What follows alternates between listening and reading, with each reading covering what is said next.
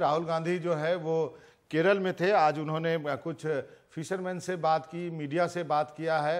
दो दिन के अपने केरल के दौरे पे हैं राहुल गांधी। अब ये इनकी भी से, सेल्फी खींची जा रही है देखिए।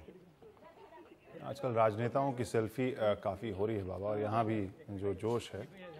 चलिए सेल्फी से पिक्चर में तब्दील हो गया। क्योंकि फ्रेम काफ़ी बड़ा हो गया था।